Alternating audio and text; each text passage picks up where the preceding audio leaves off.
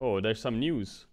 Revamped Riot Games Arena to become new epicenter of EMEA competition.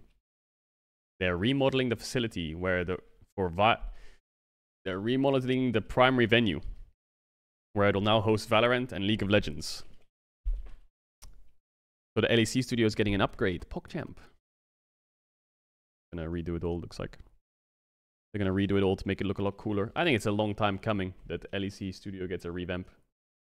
It has co-streaming booths. The addition of two dedicated co-streaming booths in the Riot Games arena. Hmm.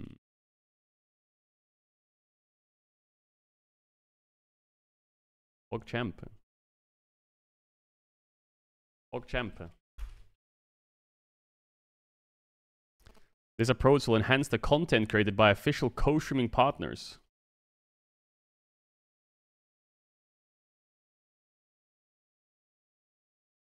Cool.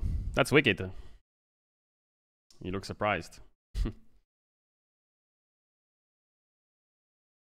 that's cool. No, that's cool. That's pretty cool. No, that's pretty cool. That's cool. No, that's cool. That's, that's cool. No, that's cool. That's pretty cool.